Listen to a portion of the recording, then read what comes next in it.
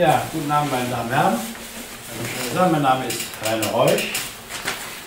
Ich bin eigentlich Kunsterzieher für Philosophie, Kunsterzieher und Philosophielehrer. Habe davor aber noch eine Fachhochschuldiplom gemacht in Typografie, Grafikdesign und eine Lehre als Kirchenmaler. Das heißt, ich habe mein ganzes Leben die Kunst rauf und runter gemacht, sowohl praktisch als auch theoretisch was dann die Erfahrung mit sich bringt. Also ich habe bei Werner Spieß Kunstgeschichte studiert und ich habe Kunst bei Gerhard Höhme, das deutsche Informell, und bei Josef Beuys gemacht. Wenn die alle Graupner und Bücker und Bladberg, Sie leisten, das war also in Düsseldorf. Also ein Kölner, der in Düsseldorf studiert, das gibt es auch. Und das heißt, es, eine ganze Menge Erleben steckt da jetzt drin und aus diesem Grunde her betreibe ich in den letzten Jahren philosophische Betrachtung von Kunst und Künstlern. Das heißt, was steckt für eine Weltanschauung hinter den Künstlern? Die Künstler sind ja nun keine Philosophen, die treiben etwas um, sie machen aus verschiedenen Gründen etwas.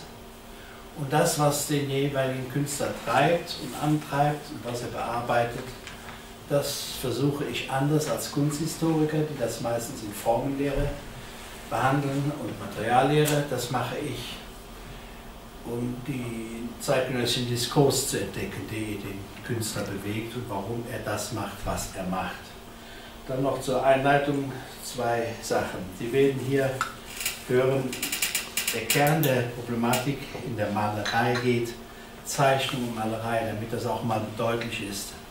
Das wird Ihnen vielleicht nicht so geläufig sein. Zeichen, Zeichenunterricht ist Ordnungsunterricht, ist Form. Und Malen ist ein bisschen anarchistisch, ist frei, ist Emotion, ist Seele. Deshalb war im Deutschen Kaiserreich der Zeichenunterricht so wichtig, damit die jungen Leute Ordnung lernen. Und ich komme jetzt hier auch für mit dem Begriff, man kann letzte Vorstellung dazu schon mal ein bisschen aufhören drüber, sagen, wir leben in einer visuell-leasthenischen Gesellschaft. Das heißt, wir schicken ja die Kinder zur Schule, dort sollen sie schreiben und lesen lernen. Aber sie lernen nicht sehen und erkennen. Das bedarf auch der Schulung. Das hängt ja mit meinem Fach zusammen, warum ich den Kunstunterricht, den kreativen Unterricht an der Schule so wichtig finde.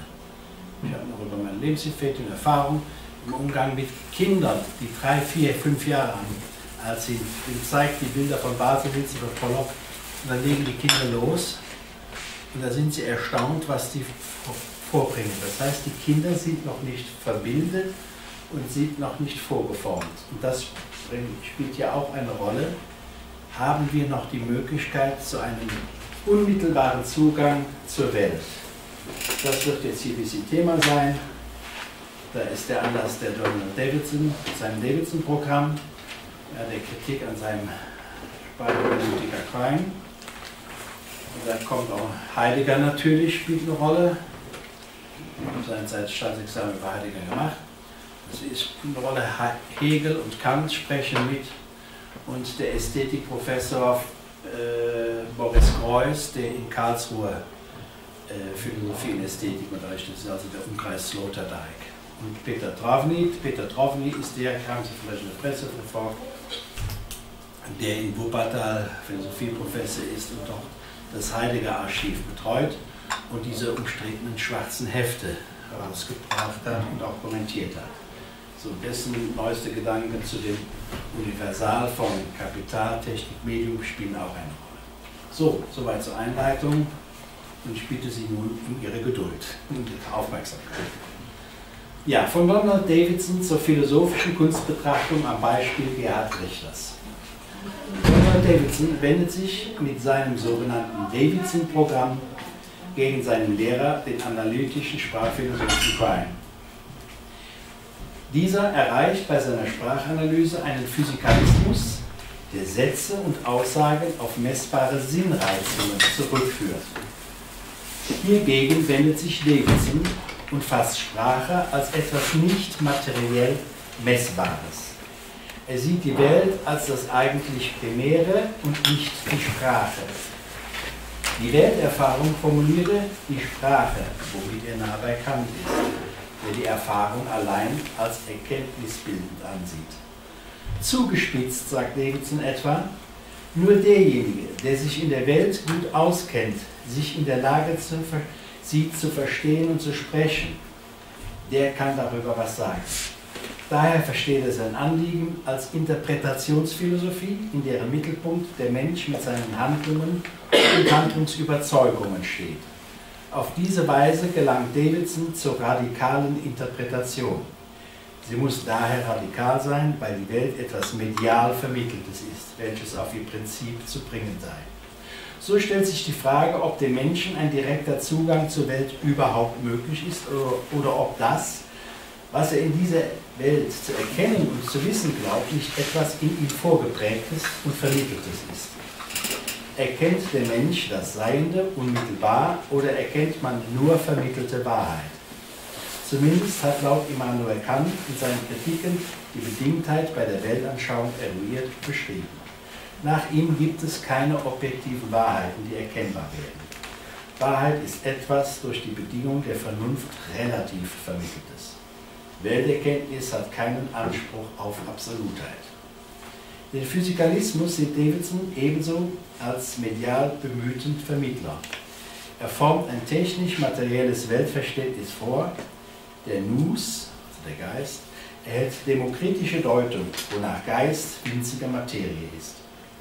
Das bewirkt eine Mathematik-Materie-Matrize, die der Physikalismus als Urschablone installiert. Dem hält Davidson aber die Untrennbarkeit von Geist und Materie entgegen. Trofny sieht das ähnlich und konstatiert eine Idee-Materie-Matrize, wobei er sich ähnlich Davidson Spinozas Pantheismus nähert. Im Physikalismus, dem Spinoza fremd ist, versteht man unter Denken ein Messen, Zählen, Rechnen, weshalb Heidegger behauptet, die Wissenschaft denke nicht, sie verfahre nur. So hat sich nun laut Davidson der Physikalismus verfahren. Kant erklärt eine auf ihre Gesetze reduzierte Natur als uns affizierendes und von uns Menschen vorgeprägtes Medium. Eine solche Naturerkenntnis ist subjektiv im Menschen angelegt. In seiner Interpretation der Natur über ihre Gesetzlichkeit hinaus gewinnt der Mensch laut Kant Freiheit. So mag die moderne Naturwissenschaft messen und erklären, wo Gedanken entstehen, doch über Inhalt und Herkommen dieser Gedanken vermag sie nichts auszusagen. Der Wahn, die Fantasie eröffnen den Menschen als biologische Anomalie seine Freiheit. So kommt es mit dem Davidson-Programm zur Interpretationsphilosophie, welche wir mit Gadamer Hermeneutik nennen. Hiermit sei nun der hermeneutische Zirkel eröffnet.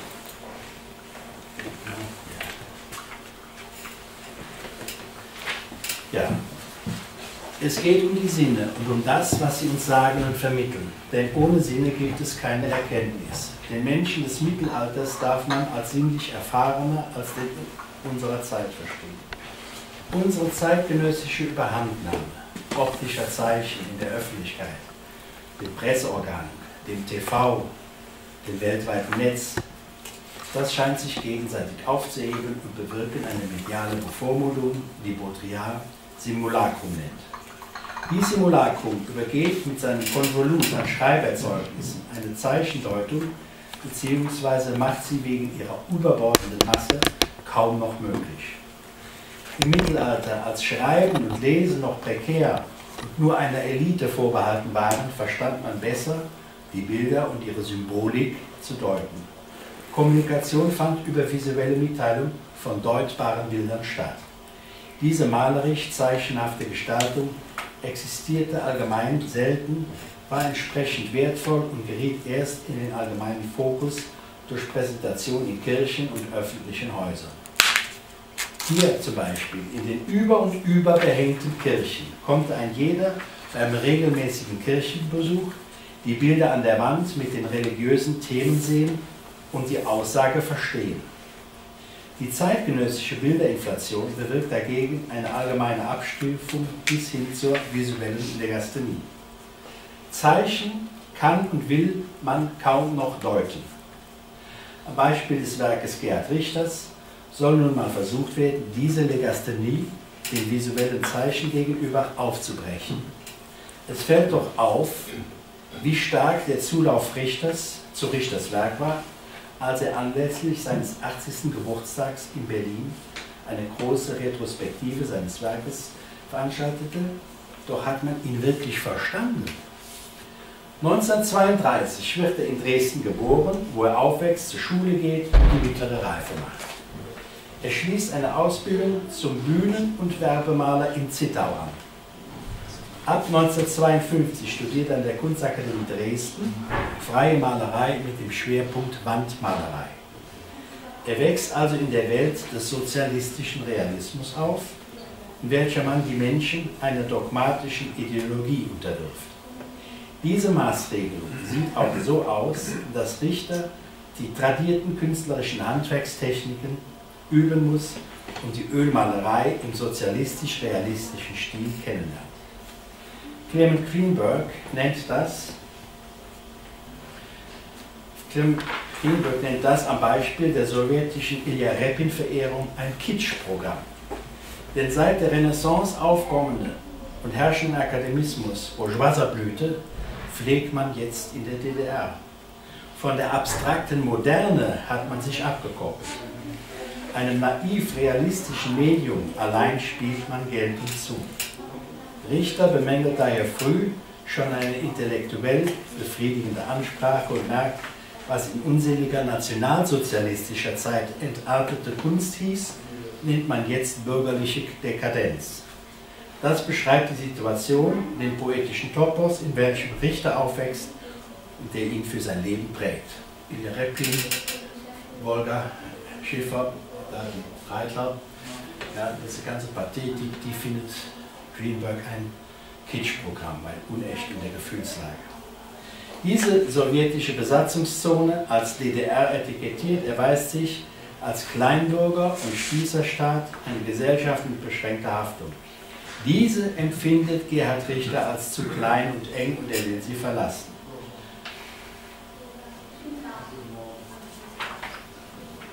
...1959, als die Grenze noch offen ist, reist er zu Documenta 2 nach Kassel und lernt dort Werke von Jackson Pollock, so trippig von ihm, und Lucio Fontana kennen. Ne? Das ist die geschnitzte Leinwand, womit eine dritte Dimension erreicht werden soll. Höhe, Breite, Tiefe, durch die sich aufwölbende, durch den Schnitt aufwölbende äh, Leinwand.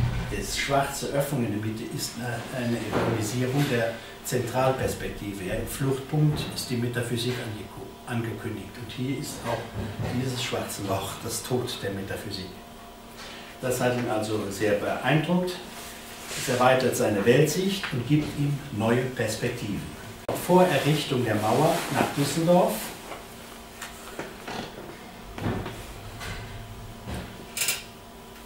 um dort bei K.O. Götz die informelle abstrakt-gestische Malerei zu studieren. Solche Malerei nennt man, wie die des Amerikaners Twombly's, auch eine körperbedingte Bildsprache, die Unbewusstes rauslässt. Das ist die neu entstehende Malerei der Moderne im Westen. Die Psychoanalyse spricht mit. Solche Sachen haben auch immer damit zu tun, mit dem, was der Körper, was die Figur, was die Arme, was sie erreichen, was sie machen können. Es ist unter nicht nur hier so leichten Einsatz, sondern voll körperlichem Einsatz gemalt worden. Das ist bei Twombly auch viel stärker. Hier bei Gao Götz in Düsseldorf lernt Richter das auf jeden Fall kennen. Hier in Düsseldorf trifft Richter auf Sigmar Polke, Blinky Palermo, Josef Beuys und deren Umgang mit Bildsprache. Diese muss wegen ihrer immanenten Esoterik entschlüsselt werden. Im Osten hat die Kunst gesellschaftlichen Bedürfnissen zu dienen. Im Westen soll die Gesellschaft Freiheit und Kreativität üben, wozu in jener Zeit Sartres Existenzialismus aufruft. Das eröffnet eine neue poetische Topologie in einer gespaltenen Welt. Es wandelt sich zur Topologie der Subjektivierung.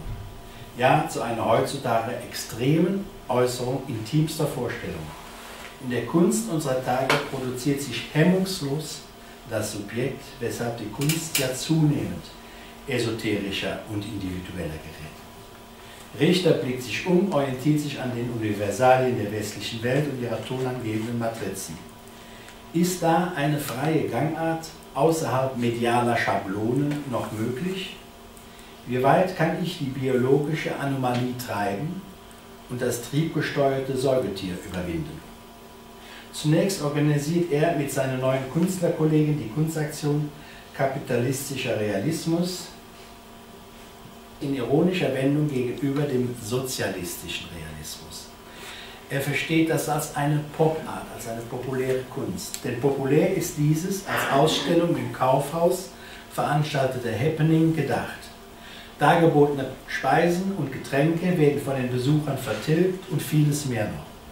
Es bleibt ein Bild der Verwüstung. Eine Kunstaktion kommt daher als Dokument der freien westlichen Angebots- und Nachfrageökonomie gegenüber kommunistischer Planwirtschaft, wo freies, hemmungsloses Konsumieren nicht so möglich ist. Sozialistische Raubfantasien allerdings erhalten hier im Westen ihre üppige Nahrung. Die wahre Kunst generiert Geld und Geld muss fließen, wie Richters Kollege Beuys schon sagt. Sie sehen hier diesen einfachen Stuhl in diesem Sfumato, in dieser Verwischung. Hier ist der Fluss drin, noch stärker. Sehen Sie das hier, Autos in, bei der Fahrt, er hat diese Bewegung alles mit aufgegriffen in der Darstellung. Ja, also Geld muss fließen. Der Geldkreislauf gebiert Fluxus, auch ein Thema jener Zeit von Fließen natürlich. Und dieser prägt von da an Richters Schaffen. Nichts bleibt und alles ändert sich. Die Bilder von gestern verwischen sich in der Zeit, verlieren an Raum. Ein klar umrissenes Ding existiert nicht. Alles bleibt offen und bewegt sich im Fluss von Raum und Zeit. So denkt Davidson und Torley. Mehr oder weniger denken sie im Fluxus. Das Thema des Physikalismus gerät zum zerfließenden Fake. Die Natur strömt, fließt und geht auch wieder. Und ihr, mit ihr die Technik und Artificialität. Daher spricht Popper ja in seinem Buch von Logik der Forschung von Falsifizierung. Die Regeln und Sätze der Naturwissenschaft gelten eben nur relativ. Und zwar so lange, bis ihr Gegenteil bewiesen ist, bis sie falsifiziert sind. Bis dahin gelten sie als verifiziert und Peter Travny bezweifelt ihre Kontingenz. Heiligers Begriffe der Alete beschreibt dies Offene als Kommen und Gehen. Lete ist die Verbergung, die Verborgenheit. Alete ist das Aufbrechen der Verborgenheit und mit dem Begriff Alete meint er, dass die Erscheinungen der Natur aus dem verborgenen Sein ins Licht der Wahrheit treten und sich auch wieder zurückziehen. Also ein bisschen gegenläufig gedacht. Heiligers Begriff der Alete beschreibt also dieses Offene als Kommen und Gehen die Natur offenbart sich im permanenten Kommen und Gehen. Hier ein sehr schönes Graubild von der Natur, das Wasser, wie es dort hinten diffus verschwindet, die sehr unkonkrete, offene, inkontinente Wolken, Luft, Himmellandschaft. Das heißt also, die Natur offenbart sich so, wir können sie nicht gänzlich erfassen. Das Sein des Seienden erweist sich als Entborgenheit, die auch eine Verborgenheit ist. Die Offenbarung der Natur, ihre Poetik, ist gegenläufig. Poetik im Sinne von Poesie ist Aristoteles gedacht, von Hervorbringung von Schöpfung.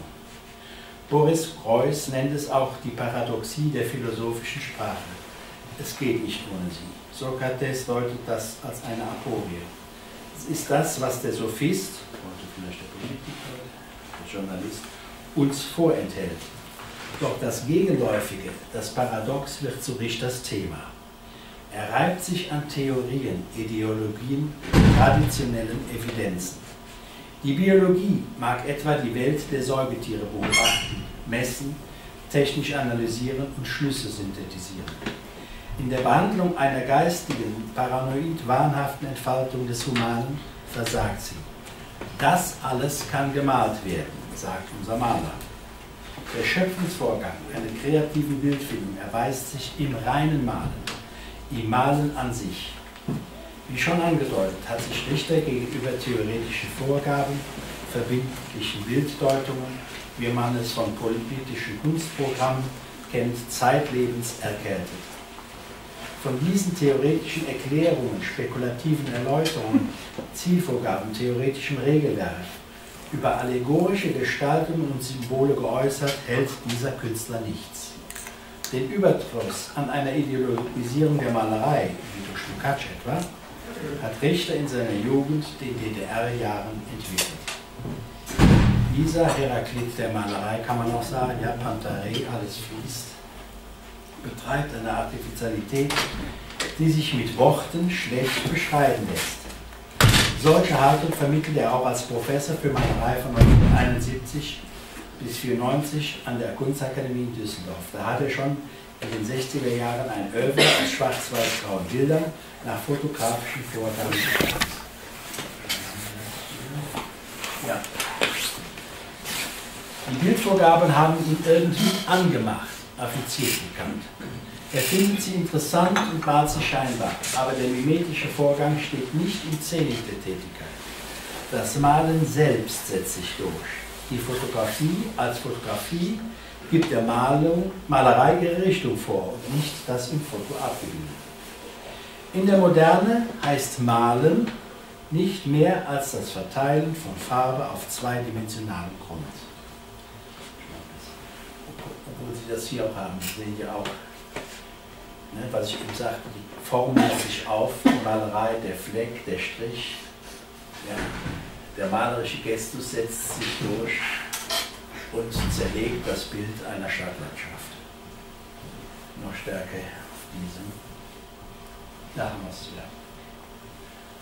Malen auf zweidimensionalem Grund, Verteilen von Farben, nur mit wenigen kleinen Farbflecken unterbrochen. Ein Bild ist nicht länger ein Guckkasten mit einer Raumillusion an der Wand, wie wir es seit der Renaissance hier kennen. Die Objektivität hat sich verloren. Die Welt, an der sich Richter orientiert, Imaginationsfetzen seines Topos, Fotografien aus der allgemeinen kleinbürgerlichen Bild- und Vorstellungswelt.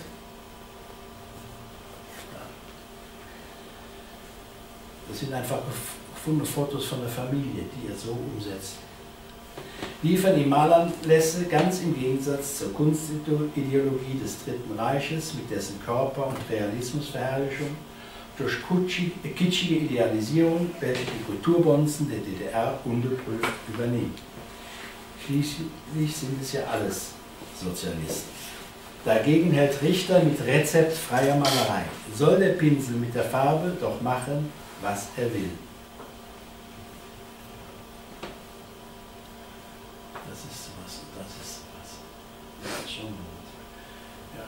Einfach laufen lassen, ohne, ohne kontrollierte denkliche Haltung.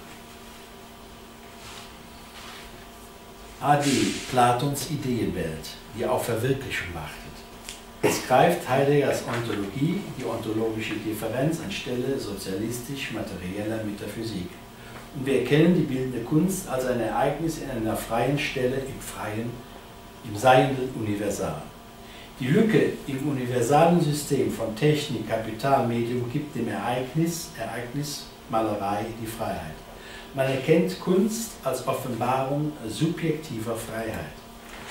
Es ist nichts mehr objektiv, es ist alles nur noch subjektiv, die gesamte Weltsicht. Es erscheint eine Offenbarung von Malerei als Alete, ein das Ereignis füllende Entbergung mit inhärenter Verbergung. Das Paradox einer Äußerung. Das nennt Heidegger im Ursprung des Kunstwerkes als ungeheure Setzung im Seienden Wahrheit. Danach heißt Wahrheit nichts anderes als die Setzung des Ungeheuren in die Welt der geheuren Wirklichkeit. Ja, es ist das, was uns umgibt, es ist alles geheuer. Und eine neue Kunst, weshalb sie auch oft zu Beginn nicht anerkannt wird. Weshalb es auch schwierig ist, dass man das, die Qualität erkennt. Ja, man hat ja jetzt den Caspar David Friedrich, im 20. Jahrhundert richtig schätzen gelernt. Das trifft auf einen Spitzweg zu, das trifft auf einen Van Gogh zu. Ja, das, was uns heute gefällt, das war im 19. Jahrhundert ein Skandal. Das war also das Ungeheure. Und der Wahrheit ist danach einfach das, was neu erscheint. Deshalb sagt Heidegger, der Philosoph sucht die Wahrheit, der Künstler drückt sie aus. So bringt Richters Malerei in unsere Welt des Gewöhnlichen, des wissenschaftlich Bekannten, seine visuelle Anomalie, von der Davidson als Skandal der Natur spricht. Es erkennt der Mensch allein das, wovon er weiß. Und was er nicht kennt, das sieht er nicht. So verharrt eine bildlegasthenische Gesellschaft in bekannter Gewöhnlichkeit. Der Mainstream einer Massengesellschaft betreibt allein das Geheure, das Gewöhnliche, welches man als das Bekömmliche wähnt. Der Durchschnittsmensch lehnt das unbekannte andere ab. Im christlichen Mittelalter hat die Malerei die Aufgabe, die kirchlichen Dogmen abzubilden. Eine katholische Ikonographie im allgemeingültigen Kulturzustand wollte das so sehen.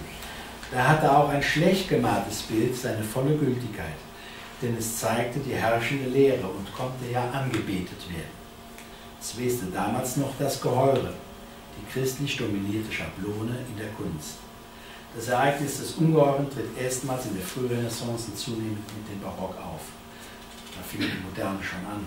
Das darf als Charakteristikum der Neuzeit verstanden werden.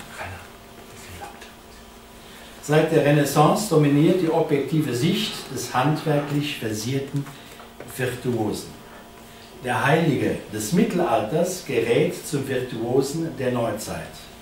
Sloterdijk. Die neue Welt der Wissenschaften und das kulminierende Kapital beherrscht zunehmend das Sehen, das Weltverständnis mittels wissenschaftlicher Perspektive etwa. Die menschliche Anatomie, die Perspektive, die Geometrie, die Maltechnik der Ölmalerei gehören zum Rüstzeug des Malers und das Bild wird Ware und gerät zu einer Art repräsentativer Wandaktie. Je virtuoser empfunden das Bild, desto höher sein Wert. Es gibt prinzipiell die zeitgenössische Auffassung vom Raum wieder. Den sichtbaren Pinselstrich galt es zu vermeiden, um die Illusion zu steigern. Malerei bereitet die Fotografie und damit die industrielle Sicht vor. Nun in der Moderne bricht das weg. Das Bild versteht sich als Aktionsfläche subjektiver Tätigkeit. Die renaissancehafte, bemühte Objektivität verliert ihre Geltung. Der Raum gerät multiplex, wie im Kubismus. Welt ist allein das, was das Individuum erlebt. So zeigt sich Malerei als individuelle Farbordnung auf zweidimensionalem Grund. Hier dockt Richter an. Er bedient sich als Malanlass, wie schon gesagt, eines kunstlosen Schnappschusses, eines unspektakulären Fotos als Ausgangspunkt. Da kann er sicher sein, ideologiefrei zu bleiben. Daran erprobt er sein malerisches Können. Es entstehen seine Gemälde, wobei die Farbe und der Pinselduktus das ihre geben. Die Ästhetik des Bildes entwickelt ihre eigene, unaussprechliche, jedoch sichtbare Farbsprache. Etwas aus dem Fluss der Zeit kommt im Bild zum St Auf solche Bilder muss man sich sehend, intuitiv, empathisch und keineswegs logisch vernünftig einlassen. Fantasie, welche naturgemäß die Regeln übersteigt, ist gefragt. Der Beuys sagte ja auch, nachdem er so auf der Documenta so verschieden sein Büro für Kunst eröffnet hatte, und mit den Leuten sprach, man konnte mit ihnen da diskutieren, Gespräche führen. Und er sagte als Ergebnis, was ihm negativ aufgefallen wäre, dass die Menschen nur noch in der Lage sind, auf logischem Weg an die Kunst ranzugehen. Das ist der falsche Weg. Die Kunst hat keine Logik im Sinne einer Verstandesordnung. Es kommt hier auf Intuition, auf empathisches sich einlassen an. Die weichgemalten Bilder zum Beispiel. In ihrem Sfumato. Sfumato ist der Ausdruck aus der Renaissance, ist von äh, Leonardo da Vinci entwickelt worden. Er wollte, ja, deshalb auch seine Madonnen äh, so beliebt, er wollte nicht die klare Kontur haben, wo ich eben von sagte, das zeichnerische Größ. Er wollte die Malerei sich ausbreiten lassen. Diese Weichheit, das, diese Weichheit der Form, diese Weichheit im Gesicht darstellen, statt eine scharfe Kontur. Ja? Die weich gemalten Bilder in ihrem Sfumato wirken eher wie Erscheinungen. Man ahnt etwas, glaubt etwas zu sehen, erinnert etwas Fotografiertes, wie im starken, mit starkem Weichzeichner gemacht. versucht aus eigener Vorstellungskraft eine verständliche Form man hat trotzdem schon vieles falsch gemacht. Unsere anerzogene, eingeschränkte mediale Sichtweise reicht nicht zu. Suchen wir doch mit unseren Augen das Wiedererkennbare und lassen uns nicht auf das Neue und Ungewohnte ein. Wir müssen lernen, richtig zu schauen. Ja, da sieht man Farbwolken, Flecke, Striche, reine Malerei, pure Farbe, die den Rezipienten in Stimmung versetzen soll. Gemaltes lässt sein Vorbild hinter sich und thematisiert sich selbst. Daher wundert es nicht, wenn in einem weiteren Schritt Gerd Richter das Abstrakte malt.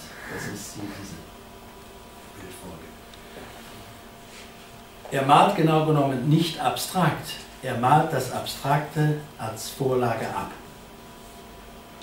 Die werden mit einem großen Spachtel aufgetragen. Die sind so groß wie diese Wand etwa. Und da zieht er mit dem Spachtel drauf und schaut danach, was da rauskommt. Die alten Malungen werden überkratzt, die kommen aus dem Hintergrund vor, die verschwinden wieder. Ja, auch der Vorgang der Alete, der eben erwähnte, spielt auch eine Rolle. Eine Malerei als totale mag er sich gedacht haben. Daher steigern sich die Bildformate. Das gedachte Irrationale erobert die Welt, Richter steigert die Sublimierung durch das Erhabene. Das Verschmieren von Farbe, welches bei den meisten Menschen Unwillen auslöst, gerät auch in der Folge der Größe und Repräsentanz, der Verbreitung von Auratik ein Wohlgefallen, ein gegen alles Interesse der Gesinne gerichtetes Wohlgefallen. Ne, alles, gegen alles Interesse der Sinne, das ist Kant. Es greift eine umfassende Sublimation. Aristoteles hatte in der Poesie den Begriff Mimesis für die Nachbildung eingeführt. Wir haben hier so eine, auch so etwas Doppeldeutiges. Wir haben einfach mal, man kann sagen, hellgrau schwarze Streifen in der Senkrechten, man kann aber auch einen Vorhang assoziieren. Das heißt, die Vorstellung vom Vorhang, die kommt aus uns heraus. Er hat einfach etwas arrangiert, wo dann unsere Auffassung, unsere Idee wirksam wird. Malerei stellt man sich dementsprechend, also Mimesis, als Nachbildung der Natur vor.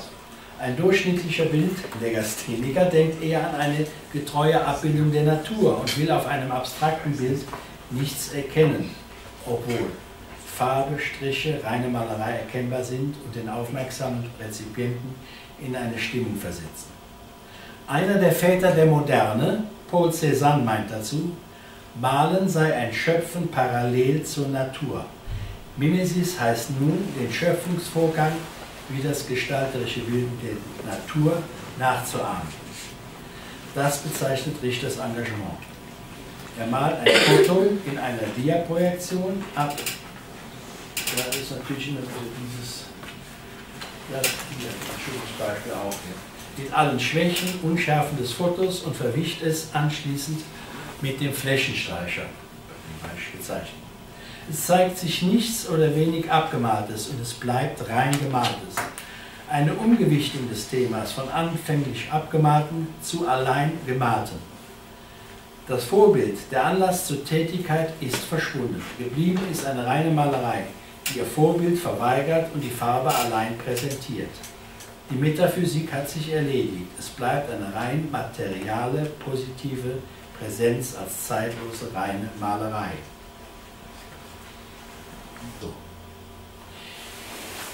Die Lösung von der Metaphysik zeigt sich in dem Bild Frauenakt die Treppe herunterschreitend.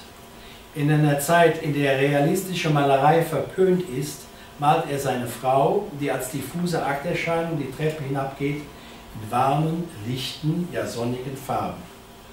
Dabei hilft ihm sein in der DDR erlerntes Handwerk und es kommt zu einer mystischen Farberscheinung. Richter hat sich von Bichon anregen lassen. Das ist das Urbild, ne? Akt die Treppe hinan unterscheidet. Da gibt es auch viele Persiflagen zu. Aber das ist ein Bild, welches interessanterweise die Kubisten ablehnen. Es ist, ja, im Grunde genommen ist es das, was in jener Zeit entsteht, der Film.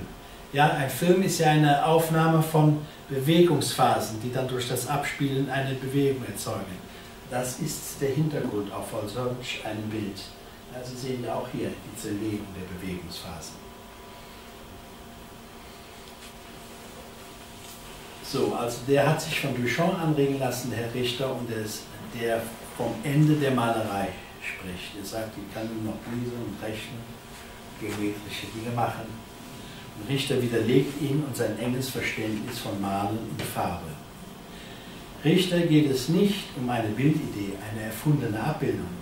Seine Idee ist das Malen, also das Bilden mit der Farbe an sich. Er sagt, Malen hat mit Denken nichts zu tun.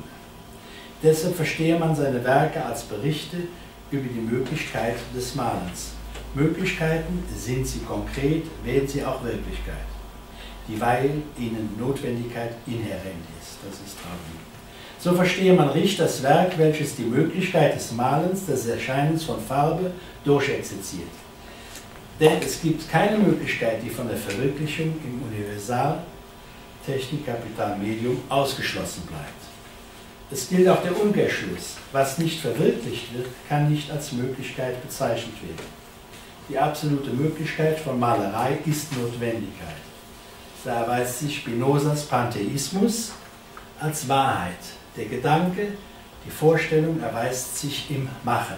Ja, Nochmal, der Gedanke, die Vorstellung ist nicht vorher abgehoben, spekulativ für sich selbst, sondern der Gedanke hierbei entwickelt sich beim Tun. Die Trennung von Theorie und Praxis dekrofiliert sich als reine Spekulation. Empirie hat sich erledigt, denn wovon sollte es Erfahrung geben, wenn auch die Theorie ein Simulacrum ist? Das erklärt den immanenten Zusammenhang in Richters Werk. Erfahrung wird mit entstehen. Dies Werk mag für die Malerei notwendig sein, denn Malerei ist, auch wenn sie keiner sieht. Das Nichtsehen liegt nicht daran, dass der Gegenstand der Nichtsehbarkeit nicht ist. Das liegt daran, dass ich dessen Phänomene nicht erkenne, weil ich ja davon nichts weiß. Eine mediale Präposition im humanen Geist erscheint da vakant. Es fehlt eine Vorprägung meiner Synapsen in der Idee Materie-Matrizen. Denn diese Schablonierung hat das Ungeheure nicht vorgesehen. Es mangelt an Überblick.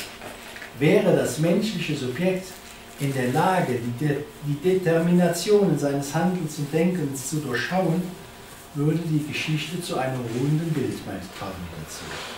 Was geschehen wird, steht schon fest. Das gilt für den globalen Raum, in welchem die mathematisch-technische Topographie maßgeblich wirkt. Insofern ist der globale Raum im Gegensatz zum malerischen neutral und ohne jede private Intimität. Sie verstehen, Trovny meint, ähnlich Schopenhauer, dass es den freien Willen nicht gibt. Deshalb spricht er vom universalen Raum und deshalb geschieht das, was geschehen muss. Was nicht geschehen soll, das geschieht auch nicht. Das alles ist ja sonst nur Gerede. Ich hätte, ich könnte. Das lehnt er ab.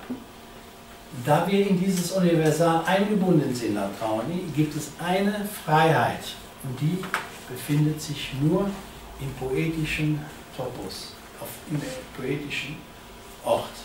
Dort, wo der Maler, der Dichter, der Musiker, der Literat und so weiter, da wo sie tätig werden, haben sie Freiheit, weil das ist die einzige Möglichkeit, wo es freien Willen gibt. Die poetische Topologie ist autark in diesem Universal, doch begrenzt endlich, so der Traum dazu. Sie bedarf der mathematisch-technischen Topologie nicht. Die Dichtung, also hier Schöpfung von Malerei, bleibt frei. Nichtsdestotrotz determiniert die poetische Topologie die lokale Topographie der Intimität. Das ist also eine Sache, die aus dem Subjekt entsteht, aus der Intimität kommt. Sie mutiert Möglichkeit zur Wirklichkeit. So betreibt Richter Malerei. Das Medium bestimmt sein Erscheinen, die Möglichkeit von Malerei austarieren heißt nichts anderes, als dass die Farbe das Werk bestimmt und nicht der Maler. Er bleibt ein allerdings hervorragendes Mittel der Exponierung von Malerei. Richter drückt seine Bestimmung aus mit dem Satz, Zitat, mich interessiert nur das, was ich nicht kapiere. Malerei birgt insofern das absolut Irrationale, den Wahn, die Imagination.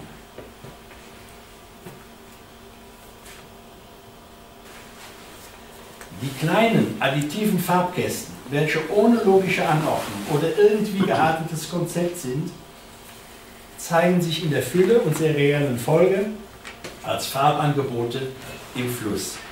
In einer opulenten Menge diese Spots demonstrieren Farbe im Fluss. Eine solche Offenheit widerspricht einer physikalischen Auffassung von Kontingenz. Das Thema der Physik verliert an Kontur.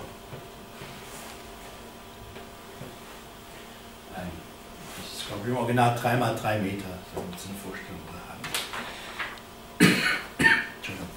Metaphorisch bedeutet das eine schallende Ohrfeige für Platons Theoriedogmatik hält dieser doch die Kunst für das unzureichende Betreiben einer nachrangigen wie unvollkommenen Mimesis der Idee. Ja. Um den Platon zu schildern, der ja eine sehr negative Einstellung zur Kunst hat. Der hielt das ja für Gaukelei. Die Idee vom Tisch oder vom Stuhl etwa. Der Schreiner fertigt eine unvollkommene partielle Ausführung der Idee Stuhl. Der Maler malt diesen im Sinne der Idee unvollkommenen Stuhl ab. Der Maler fertigt also eine niedrige Stufe auf der Hierarchie zur reinen Idee an. Doch Richter malt keine Idee nach, er malt in der Wirklichkeit ohne jeden transzendentalen Bezug. Zitat, da Bilder nicht gemalt werden, um mit der Realität verglichen zu werden, können sie nicht unscharf sein oder ungenau oder anders, anders als was. Wie soll Farbe auf Leinwand unscharf sein können? Richters Bildschöpfungen kommen in einer Poesie gleich, welche aus dem Dunkel des Seins in das Unbekannte und Bekannte Seine, das Neue als Innovation vorstellt. Boris Kreuz meint dazu, ein neues Kunstwerk oder neue Theorie, die im Verdacht stehen, wertvoll zu sein, kommen in einen Vergleich zwischen Archiv und profanem Raum wobei das Neue entweder dem Archiv oder dem profanen Raum zugeordnet wird. Der Bereich, der aus allen Dingen besteht, die von den Archiven nicht erfasst sind, kann man als profanen Raum bezeichnen. Das ist das, wo wir so bewegen. Richters Werk darf sich sicher als von den Archiven erfasstes Neues gelten lassen, während wir Rezipienten im profanen Raum verharren. Das Neue als ungeheure Erscheinung im bisher Erfassten und reflektierten Dasein, welches als Gegenüber inmitten der Gewöhnlichkeit auftaucht, wo es als pures Walten der Farbe und ihrem aufgebrachten Duktus entgegensteht, erscheint der kollektiven Auftritt möglicher Rechte. Da haben wir das Entgegenstehen dieser Menge an Farben, diesem Fluss an Farben. Der ist wirklich völlig willkürlich, da ist nichts dran spekuliert. Ja, einfach Zugriff und Farbe, die Farben, das haben seine Studenten angefertigt in dieser Regel. Ja, das stellt entgegen das die Menschen davor, wie, sie vor dem, wie der Rezipient vor dem Bildwerk steht. Dieses Ungewohnte kennt also keine Vorbilder, ist kein Abbild von etwas, sondern ist der bisher undefiniertes Etwas. Dies Etwas kommt dem Subjekt als das andere, etwas meinem Ich gegenüber Fremdes vor. Deshalb gibt es keine verwischten oder weich gezeichneten Bilder bei Richter. All die Summe aller Farben offeriert er uns in den Graubildern, Kästen. Der Kardinal Meissner, der hat sich darüber echauffiert, weil er das für eher islamische Kunst, weil geometrisch hält. Wir wissen mittlerweile durch das hier vorgetragen, dass das nicht geometrisch gemeint ist, dass es einfach Farb in der Summe, in der Fülle darstellt. Insofern meines Erachtens als wenn man will, mystische Farberscheinung in einen gotischen Dom sehr schön passt. Aber das sieht man mal wieder. Auch ein gebildeter Kardinal ist nicht voll informiert.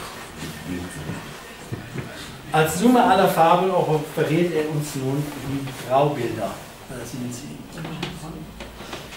Sie sind leichten Strukturen, welche letztlich nichts anderes als gestalteter Materialismus bedeuten. Mit ihren schrundigen, von Farbschlieren strukturierten Bildflächen evozieren sie haptische Erfahrung von Malerei. Stimmungen transportieren sie keine. Diese transportiert der Bildrezipient, so wie Grau nur die Stimmung einer eventuellen Begleitfarbe mit sich trägt. Ob es zum Beispiel eine kalte oder warme Farbe zur Begleitung hat. Dementsprechend unterschiedlich wird Grau als Summe der Farbe. Mit diesen Graubildern spricht Richter auch seine persönliche Haltung an, lehnt jedoch jede Ideologie, jede herrschsüchtige Theorie gänzlich ab. Er meint alle diese Moden, seine Anfangszeit in Düsseldorf, die Rockbewegung, davor die Nazizeit und nun der Sozialismus beängstigen ihn. Da hängt ihm noch die Vereinnahmung und Fremdbestimmung als Propagandamaler des Sozialismus in Dresden nach. Er hat ja einige Bilder in Dresden gemalt. Die wurden, nachdem er die DDR verlassen hat, natürlich übermalt, überstrichen. Auch anderen auftrumpfenden Ideen misstraut er als dogmatische Ideologienskonstrukte. Er weigert sich mit Haut und Haaren in eine Schablone gedrückt zu werden und sich der Ideen-Materie-Matrize im Universal anzupassen. Bitte keine fremdgesteuerten Normierungen. Er entwickelt seine Phobie dem konventionellen Nicht-Ich gegenüber. Zunächst interessieren ihn die konkrete soziale Realität der Nachkriegszeit. Denunzierende, anklagende Gästen vermeidet er in seiner Haltung. Lieber inszeniert er Unpersönliches. Die konkrete soziale Realität der Nachkriegszeit. Denunzierende, anklagende Gästen vermeidet er in seiner Haltung. Lieber inszeniert er Unpersönliches. So, jetzt gehen wir wieder. Ja, Lieber inszeniert er Unpersönliches und will Verlorenes bannen. Die Sicht auf scheinbar lapidare Dinge schafft eine zweidimensionale Malerei, die, sich als eine rein materialistische positive Haltung erweist. Phänomene bleiben Phänomene und Richter malt ihr reines Scheinen. Malen behält sein reines Malphänomen und bleibt interpretationsfrei. Zitat: Man kann gemalte Bilder nicht erklären, denn Sprechen über Bilder ist ein anderes Medium als das Malen. Visuelle Aussagen lassen, sie nicht, lassen sich nicht mit Worten erfassen, so wenig wie man das Tönen von Musik mit Worten beschreiben kann. Das Ergreifende einer Symphonie kann kein Wort beschreiben. Daher auch Richters Hingabe an das Tonwerk von John Cage, der das reine Tönen thematisiert. Zitat. Bilder, die deutbar sind und Sinn enthalten, sind schlechte Bilder, meint Richter. Meint natürlich weltanschaulich gesteuerte Bilder. Durch Verwischung bzw. Weichzeichnung gibt es Resultate, die intellektuell nicht geplant sein können. Neues entkommt dem Malen selbst, wie Hegel in seiner Ästhetik schon meint. Das Kunstwerk zeige sein eigenes im Machen. Der Künstler hat keinen kompletten Plan, nur eine ungefähre Vorstellung, bevor er mit seiner Arbeit beginnt. Die Bildidee, wie schon gesagt, entsteht beim Malen, womit wir wieder bei Davidson sind. Vergesse man die alte Dogmatik von Theorie und Praxis. Die Praxis bedarf keiner theoretischen Vormundschaft. Schillers Gedanken vom freien, kreativen Spiel ohne jede Notwendigkeit beschreibt es besser. Geist und Ausführung wirken ineinander. Vernunft wird auch erst durch Empathie verständlich. Spinoza lässt grüßen. Da haben Sie der Spachtel direkt ein Beispiel. Gott befindet sich nicht außerhalb, sondern in der Welt. Und der Mensch bleibt das durch seine Machenschaft pervertierte Säugetier. Weshalb die Beherrschung der Triebe die Einschränkung animalischer Notdurft bedeutet. Entsprechende Rezepte und Lebensregeln lehnt unser Malermeister auch ab. Eine hemmungslose Triebauslebung von der falsch verstandenen Psychoanalyse propagiert, zementiert die humane Notdurft. Diese Malerei hier betreibt das Gegenteil einer Notwendigkeit Notdurft. Eine Malerei, welche die Farbe also sich selbst inszeniert, äußert sich allgemeingültig. Hier ist jetzt noch eine besonders freie Malerei. Hier sieht man eigentlich genau dass Richter Abstraktes abmacht. Das ist also nicht so sehr von der, aus der Arbeit heraus entstanden. Er malt da wohl etwas ab. Hier sehen Sie auch die Dimension der Werke. Interessantes Foto ja, von unten, das beleuchtete. Das hat natürlich, was Walter Benjamin schon sagte, eigentlich ist das Oratische in der Kunst weg, aber das entfaltet eine eigene Oratik. Also eine Malerei, welche die Farbe als sich selbst inszeniert, äußert sich allgemeingültig. So allgemeingültig wirken die frühen Wolkenbilder oder Seestücke. Ja. Man glaubt, bewegte Seepanoramen zu sehen, doch der Wolkenhimmel darüber entpuppt sich bei näherem Hinschauen als ein Seestück auf dem Kopf und letztlich gemaltes All Over. Ja, ja, hier haben wir jetzt hier unten die See und vermeintlich den Wolkenhimmel. Wenn man das also rumdreht, das Bild, dann ist das ein weicherer See und darüber ein Wolkenhimmel. Es kommt halt auf den Standpunkt an. Dabei bleibt sie signifikant und Signifikat undefiniert. Das Rhizom muss nicht gesucht und identifiziert werden. Richter malt die Farbtafeln der Industrie ab und er malt die Vermischung all dieser Farbtafeln in Graubilder. Er malt eine Romantik wie Kunstgeschichte und verweist hierbei auf inszenierte Malerei. Volker von Schuli, Berlins früherer Direktor der Nationalgalerie, der übrigens als erster Museumsdirektor der Welt einen Cézanne kaufte für die preußische Kunstsammlung des Kaisers, klagt über das plumpe Wort, welches die Bildqualität nicht erreiche. Das plumpe Wort erreicht auch nicht die Qualität des Graubildes.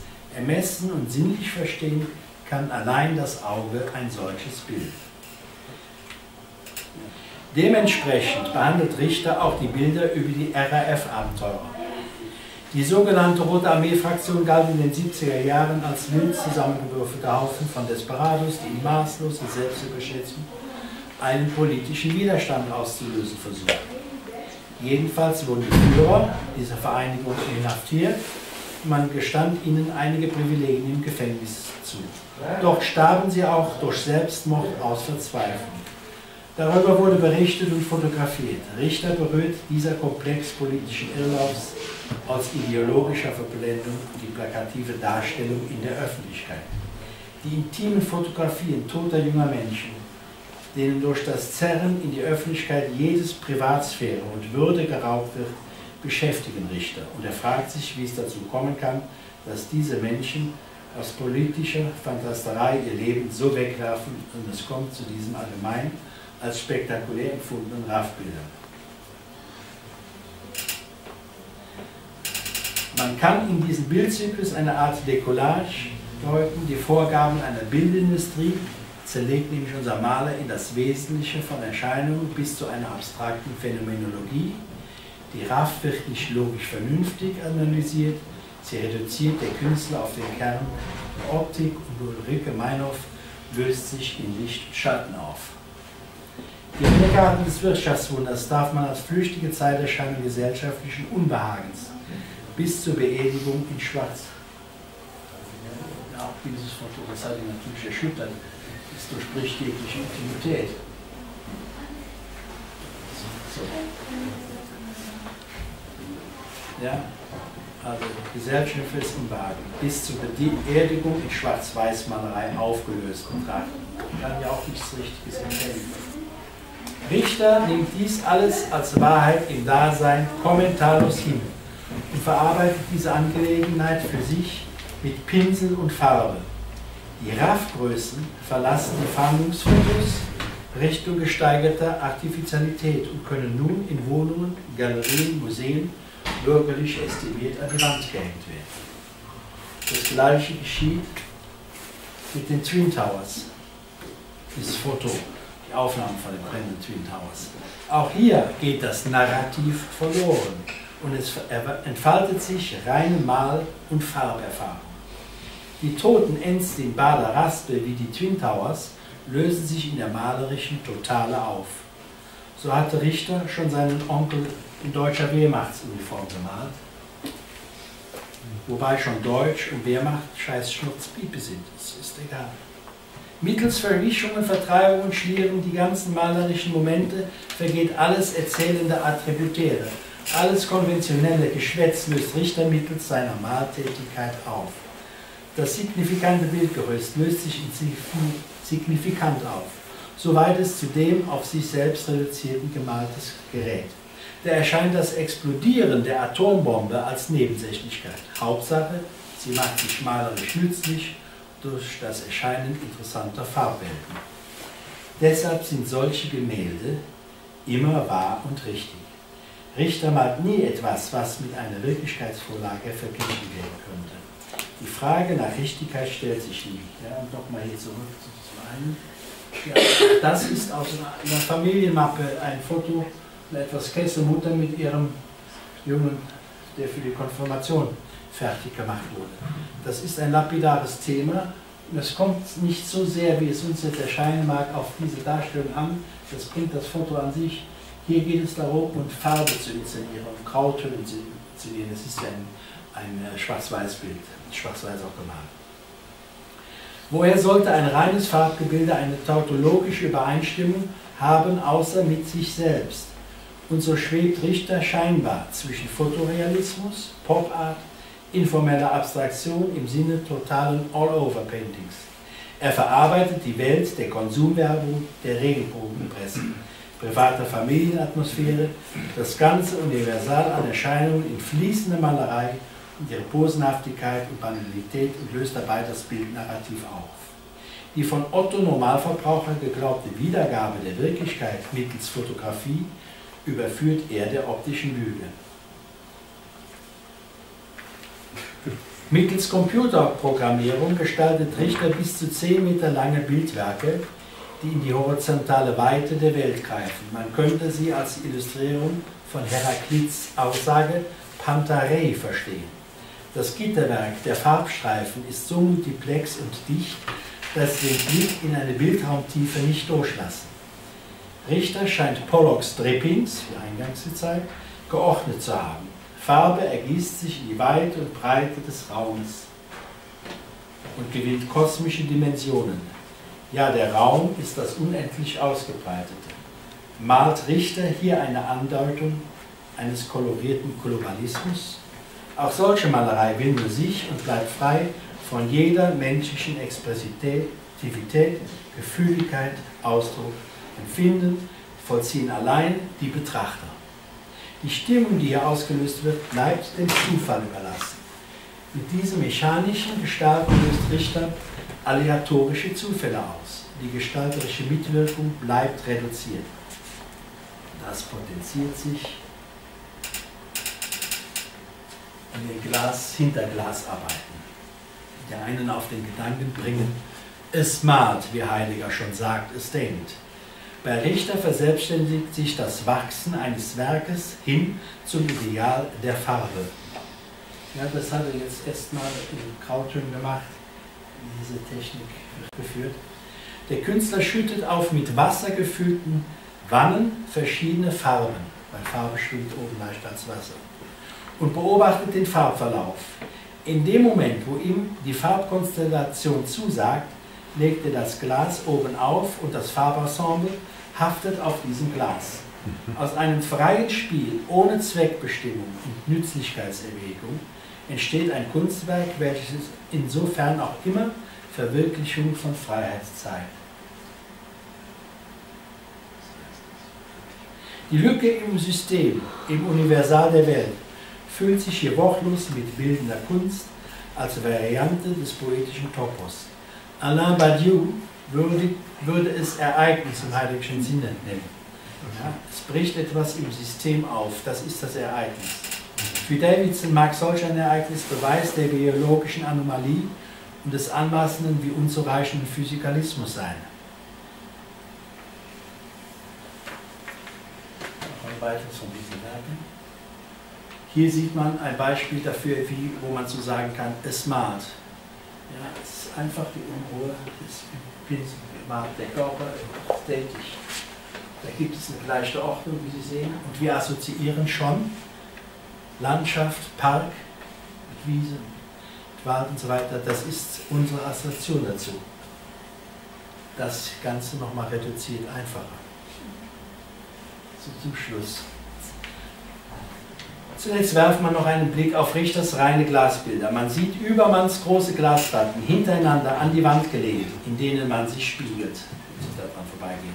man sieht sich als ein schattenhaftes Scheinen in schemenhafter Umgebung. Das zeigt den Menschen in dem Zustand, in dem er sich gerade befindet. Die Zeit kommt nicht, wie bei Bildwerken sonst, zum Stehen. Das Ungefähre erweist die Inkontingenz erscheinender Dinge. Das steigert Richter in weiteren Varianten von aufgestellten Glasplatten. Damit erweist es sich, dass ein unmittelbar ungehinderter Zugang zur Welt nicht möglich ist. Welt ist immer etwas Vermitteltes. Diese Glaswerke weisen darauf hin, dass zwischen Welt und Mensch immer noch etwas ist. Kant weist er in seinen Kritiken darauf hin.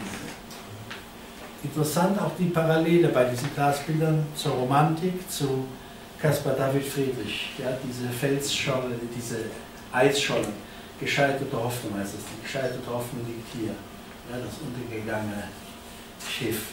Ja, da ist eine gewisse Verwandtschaft zu den Glaswerken von Richter.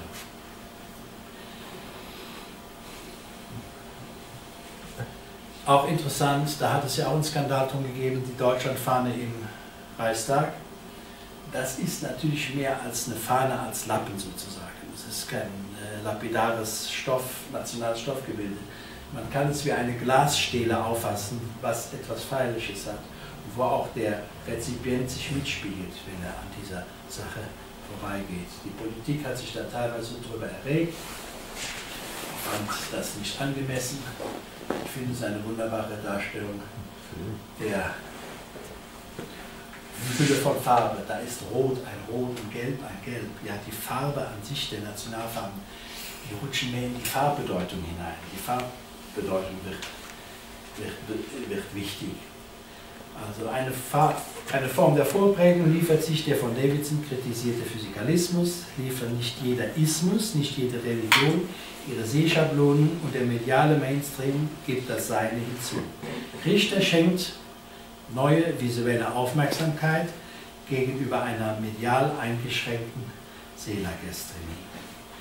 Zitat, über Malerei zu reden ist sinnlos, weil man in Worte fassen muss, was man in Worte nicht fassen kann, doch damit hat Malerei nichts zu tun.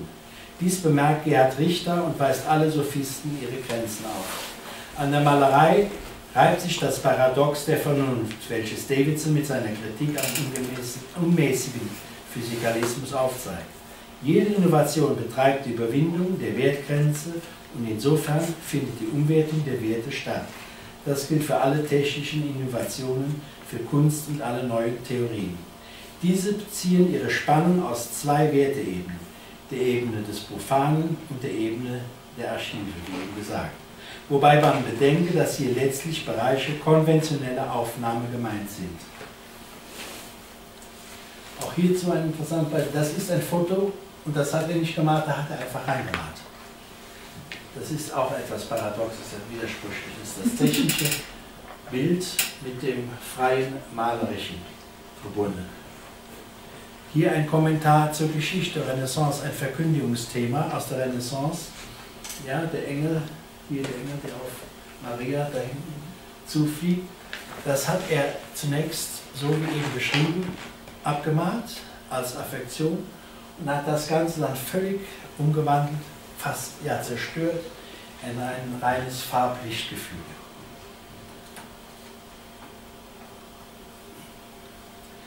Mit Richters Werk haben wir die Ebene der Vernunft, den mathematisch-technischen Topos verlassen und das Feld der Sinne wie Imagination und Fantasie, den poetischen Topos der Freiheit betreten. Alles andere unterliegt dem physikalischen Universal der Notwendigkeit. Man erkennt nun, dass es im Davidson-Programm um die menschliche Freiheit gegenüber physikalischer Notwendigkeit geht. Und der Dualismus Kunst, Wissenschaft gewinnt an Evidenz. Noch zwei kurze Sätze dazu. Der eine von Heraklit, was zu der Alete passt. Die Natur liebt es, sich zu verbergen. Und ein Satz von Voltaire. Die Natur kann nicht Recht von Unrecht unterscheiden. Danke Ihnen für Ihre Geduld und für schönes Zuhören.